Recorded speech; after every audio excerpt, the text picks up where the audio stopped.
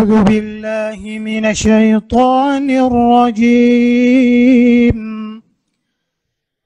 يا أيها الذين آمنوا اتقوا الله حق تقاته ولا تموتن إلا وأنتم مسلمون.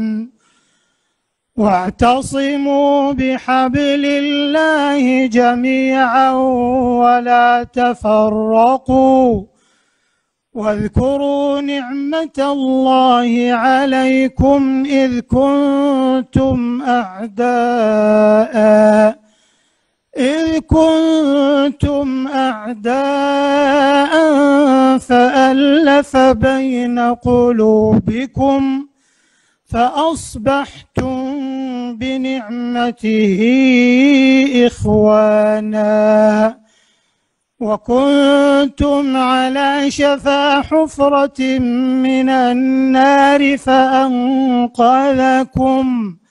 فأنقذكم منها.